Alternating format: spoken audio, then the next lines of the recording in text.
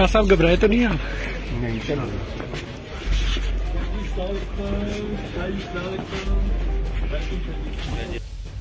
सबसे पहले मुझे तो ताजुब हो रहा है यहाँ आके। मैंने पुलिस की इतनी भारी नफरी देखी है। अंदर जुडिशल कॉम्प्लेक्स के एक हूँ का आलम है। किसी को अंदर आने नहीं दिया जा रहा। मीडिया को बाहर रोका हुआ है। समझ से बाहर है कि क्यों रोका जा रहा है? किस बात का डर है? शाह साहब ऐसा क्या कह देंगे जिससे इस मुल्क में कोई धमाका हो जाएगा?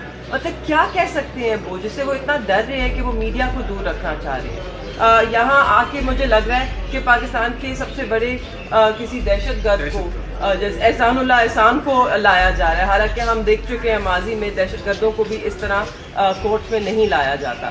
तो मैं इस वक्त है, कल भी मैं हैरान थी जिस तरह का रवैया बरता उन्होंने और आज भी मैं हैरान हूँ, ये सब मनाजिर देख